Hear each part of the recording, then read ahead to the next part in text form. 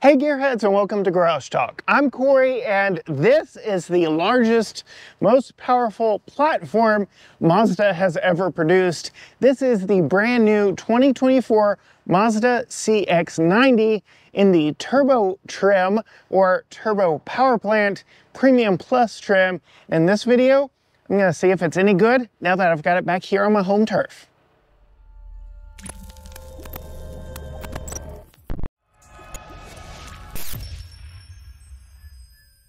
Yes, gearheads, this is a pretty important vehicle for Mazda because it marks a lot of firsts for the brand. This is, again, the biggest vehicle they've ever made, and you can option this as the most powerful vehicle that they've ever made. But this is the turbo only trim. They offer a plug-in hybrid variant and also a more powerful Turbo S version. But this is kind of the entry to this power plant is the same 3.3 liter inline six, which is an all new engine design for them, two more cylinders than we're used to from Mazda's, and a just all new architecture all the way around. In turbo trim, uh, this makes 280 horsepower and 332 pound-feet of torque and it only requires regular fuel. You can put premium in it, but unlike the uh, Turbo 4 that we're used to or the higher Turbo S trim of this, doesn't get you any additional power. So yes, you are stuck with 280 horsepower, 332 pound-feet of torque. What is very interesting about this is another first for the Mazda brand this is a mild hybrid system. So we have an electric motor sandwiched between that inline six and an eight speed automatic transmission. Again, two more gears than we are used to seeing. It's an 11 kilowatt hour electric motor that adds 16.6 interesting horsepower and 113 pound feet of torque and uses a 30.33 kilowatt hour lithium ion battery. All that means that this is a rather fuel efficient vehicle but uh, we'll get into that as we drive it. You can tell, maybe, we've got this plastic cover over it, but you can tell this is a rear wheel drive biased platform. Mazda is very proud of that. All CX-90s are all wheel drive, but is it it is a rear biased platform and you can tell that by the position of the engine. And again, we have that new eight speed uh, automatic transmission. Given that this is an all new platform, an all new design, it's seemingly a fresh sheet design, but rumor has it that this was supposed to be the Mazda 6 sedan replacement, and over the years it just morphed into a big three-row SUV. We won't get too much into the history of that, but there is some part sharing going on on this vehicle, and we'll talk about that as we talk about the design. I will say I am very proud to have this on our home turf. There's a lot of history uh, the channel has with this platform. The first ever vehicle we received from Mazda was the vehicle this replaces, and that is the Mazda CX-9. And then the first ever vehicle we were invited to review and see for ourselves uh, before the embargo lifted was this vehicle. So we have a lot of history with it, this vehicle, but that doesn't mean it's perfect. Uh, I will say it is very good looking here in person, especially from certain angles. But when I was given those first looks uh, prior to seeing it for myself in person, we got some digital marketing materials for it. I was a little skeptical of the design, but it definitely translates here in person. A very upscale and premium look to that Mazda design up front. I know when the brand introduced the CX-50, they kind of went sharper, more angular, and I really thought that's what we were gonna get here with the 90, but they really kind of softened it up to give it a more premium feel because this brand is trying to go premium and upscale. You can see we have LED lights, LED turn signals, LED running lights, and those turn signals are very similar to what we see in all other Mazda products. They kind of pulsate uh, when they come on and go off. You can see we don't have any fog lights on this one. We just have those LED headlights and this big Mazda logo here in the grill hides our radar adaptive cruise control. Otherwise, it is, like I said, an evolution of the Mazda, Mazda design, kind of softened up here for big, luxurious SUV look. Coming around to the side, this is where I'm a little disappointed in the brand and perhaps where maybe you can see some of that change from a midsize sedan to a large three-row crossover there's not a lot going on as you move around to the side. Given that we have the uh, turbo version, not the Turbo S, we get the black lower cladding, black wheel arches, and the black faux fender vent there on the fenders. If you get the Turbo S, you get body color, uh, wheel arches, and a chromed fender vent, faux fender vent there on the side. So that's one major way you can tell the difference between a Turbo and Turbo S from the exterior. I do believe this is the one that most people are going to end up purchasing just from uh, a pricing standpoint and the fact that these are probably going to be most available. Coming down to the wheels on our turbo model, we've got 21 inch wheels that are a very nice premium design wrapped in Toyo open country tires. They are 275 45 are 21 inch rubber and definitely talk to the intent or design of this vehicle. It is not an off-roader. This uh, was never designed to be a rugged vehicle, but it does have hill descent control and again, does have all-wheel drive. So it can take you to a remote campground or something like that. As we pin around here to the full side view, you can see there's not a lot of sculpting going down the side, and that is my biggest disappointment with this. I do like when vehicles are not overstyled, but this one almost feels understyled. It's just very clean and simplistic here on the side, and with a few tweaks, this would almost look like a minivan. Kind of square off that back end just a little bit more. This might resemble more of a minivan than an SUV. It does have a very low door opening, which does translate to better ease of use getting in and out, but I don't know. Just let me know down in the comments below what you think. And then this is perhaps the most controversial section for me, this three uh, rear quarter angle it just feels a little bit hunchbackish to me. And the reason this is like this is Mazda really wanted to emphasize and give room to the third row passengers. The Mazda CX-9 that we had, whew, that third row was an emergency seat only. It was very tight. It was two person.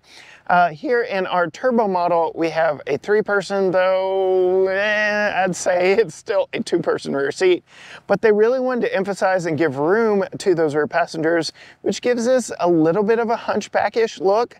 Just uh, seeing how far that very center section right here pokes out. I don't know, it just seems a little too pronounced to me. Again, let me know your thoughts down in the comments.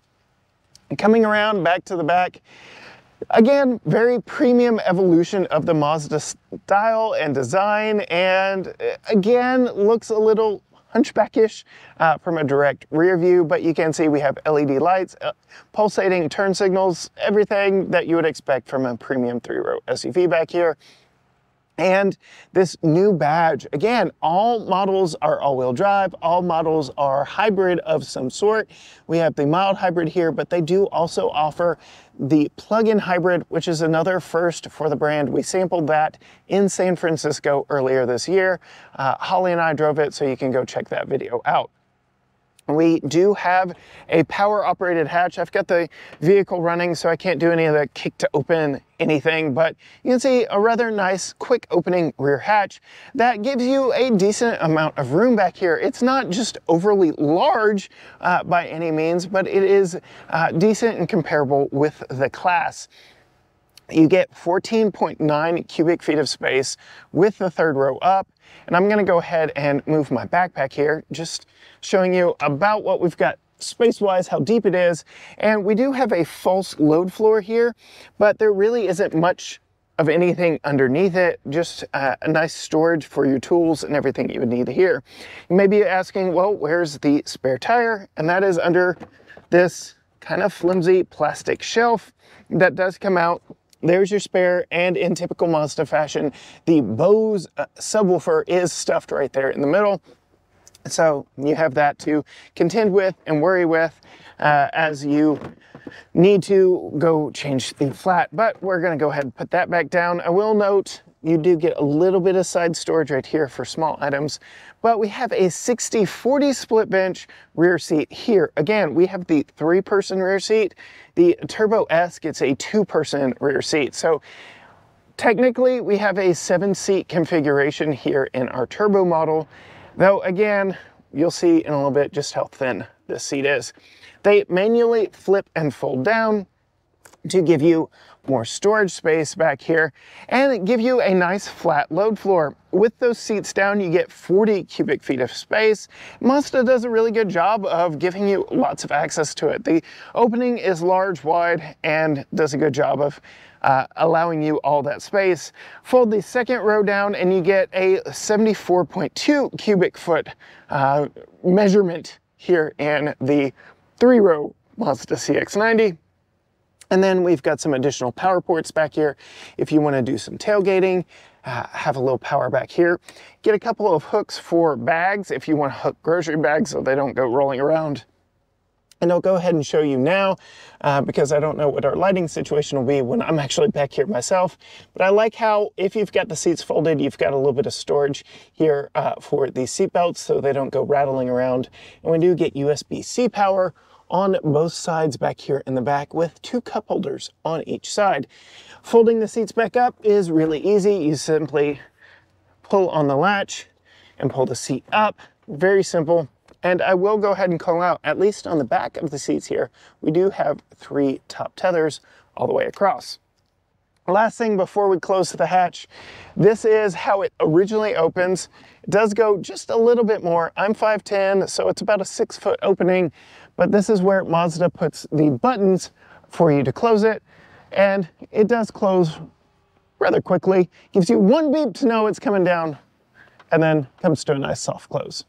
Before we get into this one, I do want to show you the key. It is your typical Mazda proximity key. Nothing special or different about this uh, moving forward into the next generation of Mazda products. All your buttons are here on the side. We have lock, unlock, your hatch button, and a panic button. You can deploy a physical key from the bottom, but it is a proximity key. You can keep this in your pocket, purse, wherever you keep your key, and just walk up to the vehicle. And uh, on the front doors, we have passive entry. So you put your hand on the back here, the mirrors fold out to let you know it's unlocked. And then to lock it back, you can just push on that little square right there. That locks it back up. Notice uh, I can hear it back here. It also locks and unlocks that fuel door uh, so that you can be uh, secure in knowing nobody's gonna get some fuel from you if your vehicle's locked. Looking at the door before we climb in, you can see we do have the black Nappa leather interior on this one. So it might be just a little bit dark as we move in. But being that we have the turbo model, we get this um, faux metallic look. It looks like it should be a textured uh, material here on the door, but it is not. I do give Mazda props for not doing gloss black plastic. Really like that. And just gives you a splash of something unique and interesting and different that isn't a sea of black. Otherwise, we get parts sharing with other Mazdas, which isn't a bad thing. Typical Mazda door handle, lock button, and uh, express mirrors all the way around, or windows all the way around, and your mirror controls right here. You can power fold them if you need to. Get a little bit of storage down here in the door, and then you get this pistol grip, like door close uh, handle, but no like actual handle here like most vehicles have for you to grab and close or for you to store some small items in. Coming around to the seats, I will go ahead and say we've got an eight-way power uh, front set of seats here. So both front seats are eight-way power. We have two-person memory here on the driver's seat. And you can see we've got two-way lumbar as well. Looking at the seats themselves, they are nice. Again, they are Nappa leather seats. Second row seats are as well. I don't believe the third row seats are. I do believe it is relegated to the front two. If we had the bench seat in the middle, again, it would only be the outboard seats that have the Nappa leather, but it is a nice touch. We get all the this contrasting kind of rose gold look, including down your spine, down into the seat. These are heated and ventilated. And one thing I really like is the vehicle remembers what you had the heat or ventilation set to anytime you power the vehicle off and back on. That is always a nice touch. It is fall here in East Texas. I want my seat heat to come on uh, if I had it on last, though uh, we are getting into this uh, time of year when the weather is a little uh, finicky and doesn't know if it's fall, winter, spring, or summer. So maybe that isn't such a good thing. Who knows? Coming into the vehicle, closing the door, and putting our foot on the brake and pushing the engine start button here, you can see Mazda has leaned into 12.3 inch displays. This is the first vehicle with a full digital uh, gauge cluster here in the center. Previous Mazdas all used that same uh, center digital section with uh, actual analog gauges on the outsides. We've gone fully digital here and this does customize and change as you go through different drive modes. We'll get to that here in just a second, but I do want to start over my left knee and work my way across. Much like some of the other Japanese vehicles this competes with, I'm looking at the Toyota Highlander, Grand Highlander, and the like. Get a lot of buttons over your left knee here, most of which are perfectly fine to be over here, but uh, I've got just a little nitpick with this one. This is their engine start stop. They call it I-stop. It, it does not get the same auto start stop A circle logo uh, that we're familiar with in other vehicles. So that is how you keep the vehicle from shutting off in stop and go tra uh, traffic. Get your traction button here, your parking sensor, a little poverty button right here to let you know you didn't get the top trim, your safety button right here, and then your hatch, two person memory with your uh, setting button right here. Those are all the buttons here. And then we get a little bit of the leather dash right here with contrasting stitching. Again, with that rose gold theme. I really like the use of colors, materials, and textures in here. Very nice look. That way it's not just a sea of black. Again, showing that Mazda wants to go premium and upscale. Steering wheel is your typical Mazda steering wheel. Nothing different here. Uh, you get all your adaptive cruise control buttons over here, your radio control buttons over here, as well as your info button for giving you different information here on your uh, right side of your infotainment screen. And you can pan through a few different uh, features there uh, with that info button. You can see uh, we've got a very nice, clear, crisp display, but I'm going to go ahead and call attention here. We've got the Mi-Drive uh, system. There are technically four different drive modes. We've got normal, which is what we're in now, sport, off-road, and towing. I'm going to go ahead and flip it up here to sport. It takes a little while to fully engage into sport mode, but when it does, everything goes red and looks very sporty. I really like how all the gauges now look like turbines uh, and gives a really cool sporty look. And then we're going to tab down, we've got normal and off-road. And when we go into off-road, again, takes a little bit, but changes the font uh, and the overall design here on the gauge cluster. It even changes what is on the center screen, giving me a compass because again, if you're venturing off-road, you're gonna wanna know you're heading where you're going. So that's a nice touch as well. No matter what drive mode you're in, if you hit your adaptive cruise control button, you get this uh, uh, changed display that has a little more focus on all your driver centric uh, features here in the middle with your lane keep. And the vehicle just lets you know that it knows that there are vehicles around you. You get a little box uh, denoting vehicles around you in traffic. Now, again, no matter what drive mode you're in, it does look like this, but it takes on the theming of that particular drive mode. So if we go to sport, again, it's all red and sporty. So that that's a nice look right there. And then your typical Mazda horn.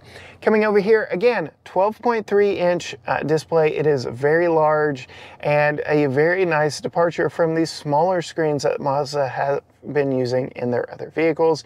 It does have wireless Apple CarPlay and Android Auto, but it still uses the rotary knob that may or may not be favored in your household. I go back and forth on this uh, on every different uh, vehicle that we get. But uh, it, it, works well for what it is. It, it is not my least favorite uh, way to interact, but when you are in CarPlay, you can see it is a touchscreen. So full touchscreen connectivity here. It is a little bit far, so you do have to lean forward to touch it, but just something to know there. We get more of that leather uh, or faux leather here on the dash with stitching. You can get various different dash looks. Uh, they do offer a light maple, again, on the Turbo S Premium Plus models. Uh, we don't have that here. A couple air vents. Uh, your HVAC controls do feel like uh, they've come out of any other Mazda product, which is not a bad thing. We do have tri-zone air in here, so dual zone up front with a third zone for the rear. Again, my heated seat remembers that I had it on, which is a nice touch. It does turn off after a little bit, so it doesn't like burn me over time. I like that. But three mode heat, three mode ventilation, and then you can see we can sync the front to right here.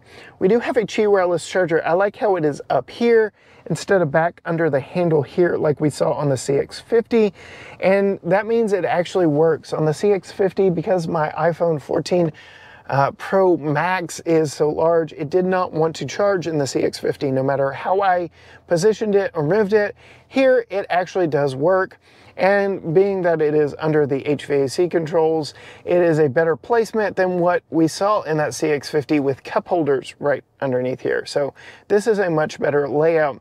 The cup holders have moved to a, a kind of forward and aft uh, configuration here under this panel.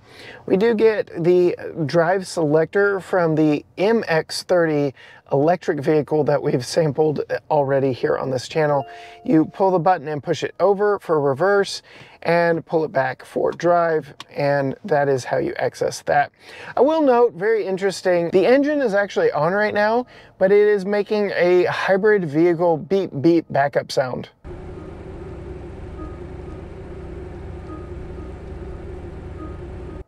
Which is just interesting. Again, this is the first hybrid vehicle that Mazda has made. I guess they are covering all bases, uh, making sure people hear you when you're backing up, whether that engine is on or off. Can see as we are in reverse, we get a nice 360 camera system. And I'm gonna go ahead and put it in park and hit the camera button right here. I like that you actually get a camera button. And now we get a forward view with trajectory. So that is a nice touch here in the Mazda. You can actually tab over and see different views. Those are my front wheels. So that's a nice touch.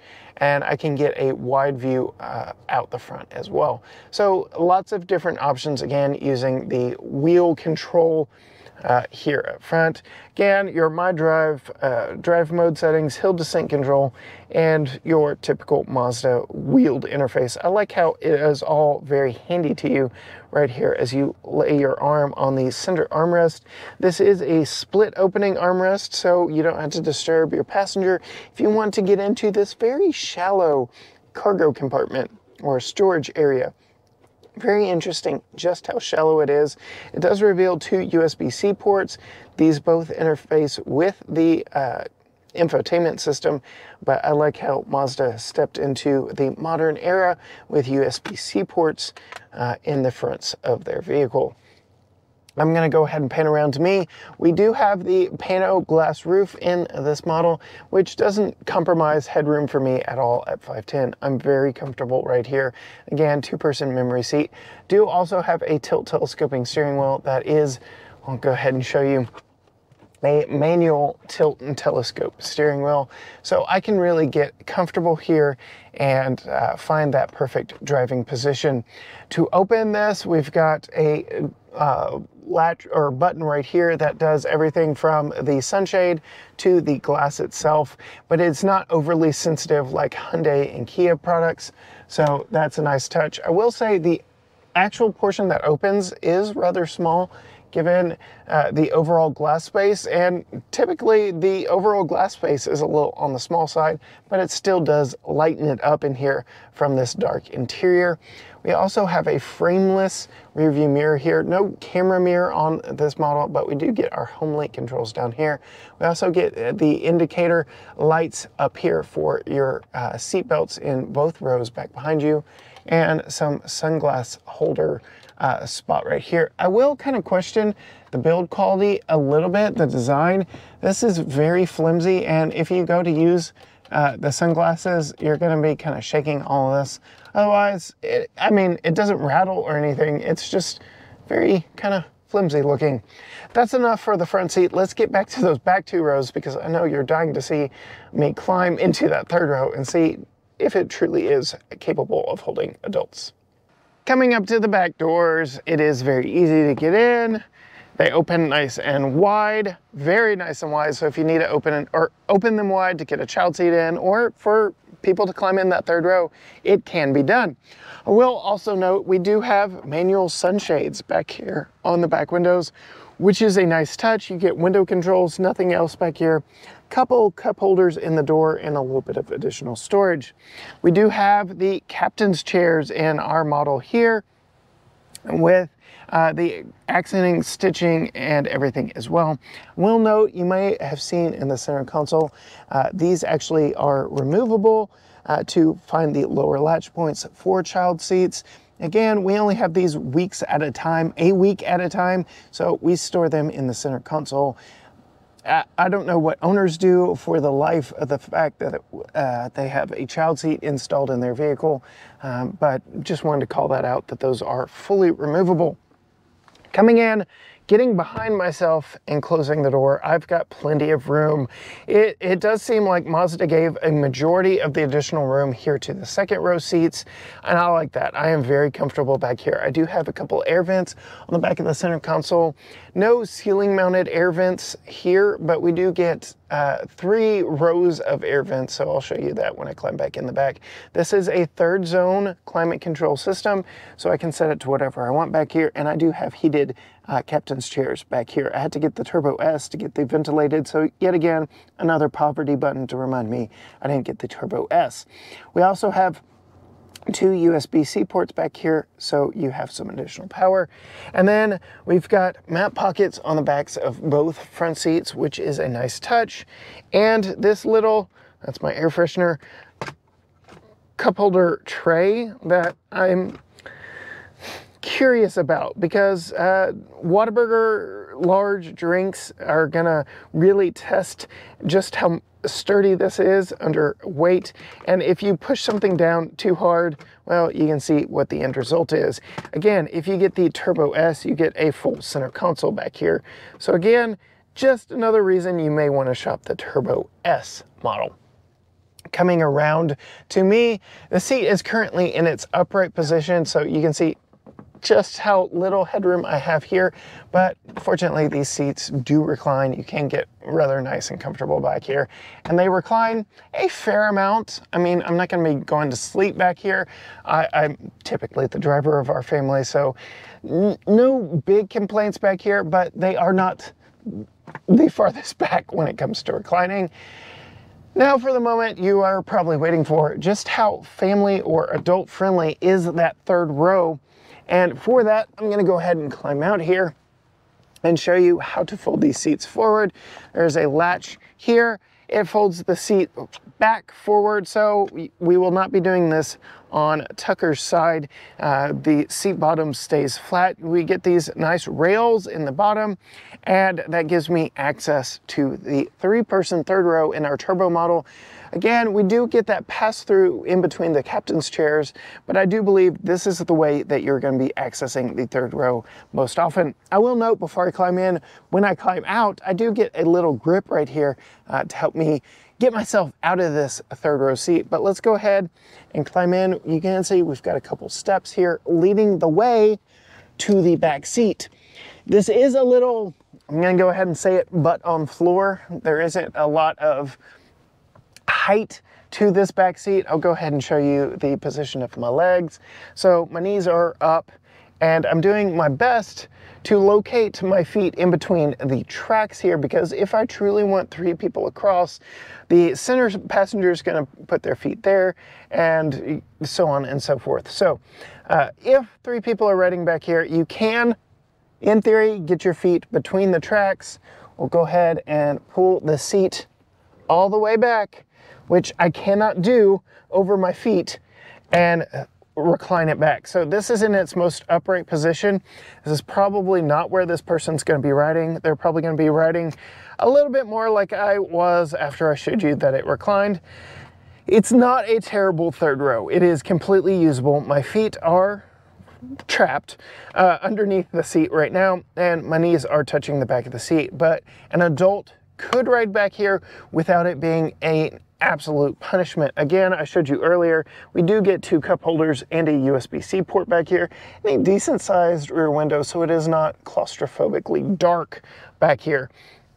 So it can be done. Whether or not many will want to is another question altogether. Coming around to me, you can see I actually have a fair amount of headroom back here. Again, going back to the shape uh, of the rear of the vehicle, they really wanted to emphasize that adults could ride back here and adults can without it being a punishment. But again, I don't know that I would put three across back here. You can see just how wide I am in relation to where this third seatbelt goes. But I will call out the seatbelt actually comes from the seat, not from the ceiling, which I guess it kind of has to given how or where the ceiling ends. This is where the ceiling ends right here. And the only uh, spot for lower latch points for a child seat are here on the passenger side. I mean, just double check. Yep, nothing here on my side. So if you wanted to put a child seat back here, you could.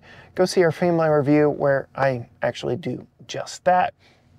Again, I do want to show you the air vents back here.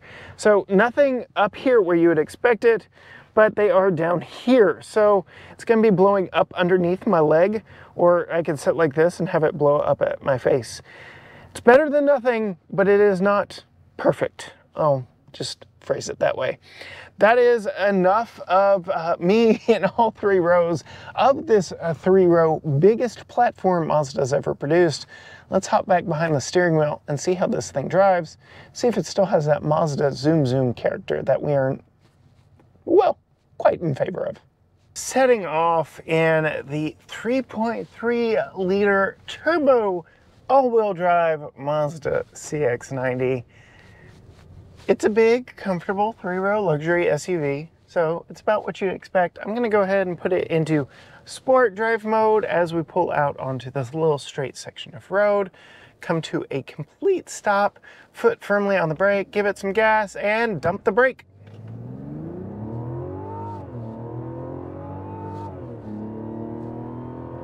Sixty. So rather quick, sporty, it will be more than enough to get you up to speed on the highway, merging on, which is what most consumers of big three-row SUVs are concerned about. Does it have enough power to get me up and into traffic? Yes. The answer, absolutely yes. Uh, the new 8-speed automatic does a good job of rowing through the gears. And again, I was in sport mode. You could hear uh, just exactly what that sounded like. I will note though, this being the first hybrid, a mild hybrid at that, there are some idiosyncrasies of the hybrid system. I already noted the fact that it beeps uh, to let passersby know that you're in reverse even if the engine's on. And the other is in stop and go traffic. Again, the electric motor is sandwiched between the engine and transmission. It is a preferred method for me because it does keep the um, all the accessories on when the engine is off in stop and go traffic. So I like that a lot. But as Mazda dubs it, the iStop system, it is a little aggressive. Uh, it turns the engine off when you're coasting down hills. I'm gonna go ahead and put it back in normal. Woo! I'm gonna go ahead and put it back in normal uh, for the time being and drive like I normally would down a country back road. Not really going to experience it on my drive today, but in my week with this vehicle, I have noticed in stop and go traffic, it takes a little while to get going again if it cuts the engine off. Just something to note uh, that it is a little more aggressive than I would prefer and does kind of have us hitting that iStop off button, which negates the fact that this is a hybrid. So take that into consideration, something to possibly pay attention to on a test drive. As we have just seen the universal sign for fun times ahead, we are in a Mazda uh, that does have a sporty driving character, at least that's what the brand tells us. I'm gonna go ahead and drop us back into sport drive mode and see how this big three-row SUV handles the twisties. We are on those Toyo open country tires, so they are not the most aggressive sporty tires, uh, but here on this very heavily textured back road, they're doing a good job of maintaining the grip. I will say of the suspension, it is sport tuned. It is a little harsher, I will say, than maybe some in the shopping in the segment would prefer.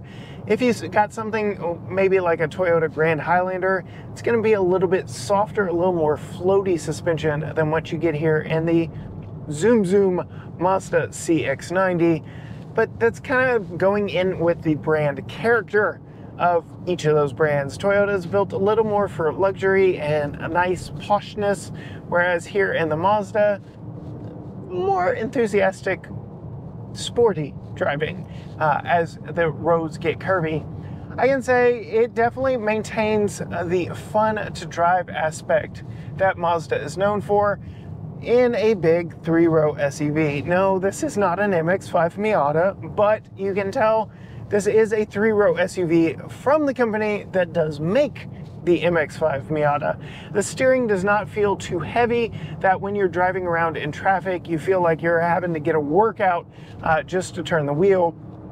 But in sport mode, on a curvy back road, it's not gonna let you down either. It's not gonna be just overly floaty so you don't know where you're going. It communicates very well to the driver, as does the suspension. Again, firmer, but not harsh. Uh, all around very comfortable. This is a pleasant SUV to drive, but again, it's geared more toward uh, the driving enthusiast who must have a three-row SUV versus somebody who has a three-row SUV that may want to go and enjoy a road such as this. Again, priorities. The brakes on this are, are very good as well, and they don't throw you uh, uh, forward if you touch them. They're overly touchy, overly sensitive. And then uh, we also have Mazda's suite of driver assistance tech on this, lane keeping, stuff like that, with a really good head-up display in this that does have blind zone monitors on the head-up display themselves. It actually gives you a visual warning if somebody's in your blind spot. So I really do like what Mazda has done overall with this vehicle. And as we get into the twisty, windy bits, I can say even at the least powerful version of this engine uh, combination, it is a fun, sporty little vehicle to drive. I can say I am not disappointed with this vehicle. It works well. It's good, it's not great. This is not the most engaging three-row SUV to drive, though that's not really why you're buying a three-row SUV, but it is a Mazda three-row SUV, if that makes any sense. Acceleration's good, Turn in is good, brakes are good, everything is good about this. It's very calm, comfortable, composed. Uh, bumps don't upset it and get you wallowing all over the place. It works quite well. This particular model is priced just over $50,000. And again, like I said on the tour earlier, I do believe this is the trim that most people are gonna get. The turbo trim, maybe not the premium plus that we have here with the more upscale interior, maybe opting for the bench in the second row uh, with the lower versions of the turbo platform. That is it for me here behind the wheel of the 2024 Mazda CX-90 Turbo here on my home turf. Again, we tested the other two engine combinations, the Turbo S and the plug-in hybrid, when we were in San Francisco earlier this year. You can go check those out. You can also find us on all social media platforms, Facebook, Instagram, X, TikTok, YouTube, Threads, everything is at GT Garage Talk or you can go to gtgaragetalk.com. Absolutely hit that subscribe button down below and ring the bell so you are notified every time we post a new vehicle or new video.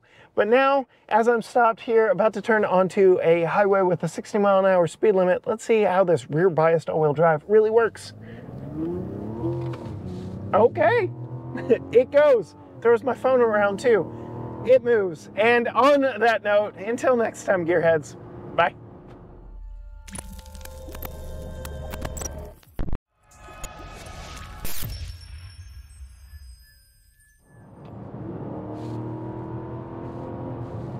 It's always ready to give you power when you want it. Uh, the 8-speed doesn't leave you hunting. It really is just in stop and go traffic when that engine shifts off uh, that you're left like, come on, let's go.